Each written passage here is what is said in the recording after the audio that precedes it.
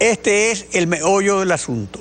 El fracaso del acuerdo de paz con las FARC, que no desmovilizó ni desarmó a su músculo financiero y de violencia, mientras se perfumaba el acuerdo de La Habana con el Premio Nobel de la Paz 2016 para el presidente colombiano Juan Manuel Santos.